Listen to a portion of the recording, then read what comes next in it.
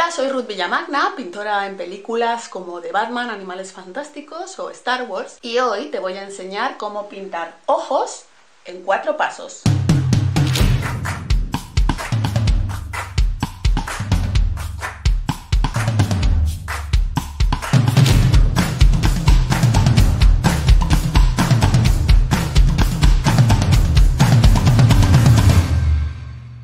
Una semiesfera en plástico transparente. Vamos a pintar la pupila en negro con pintura acrílica al agua. Ahora pintamos una línea amarilla alrededor y sombreamos por los bordes de toda la esfera. Pintamos el color de fondo que queramos y voilà.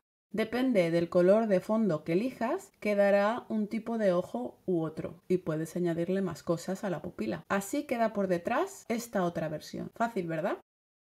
Y ya sabes, suscríbete a mi canal para más contenido gratuito. Adiós.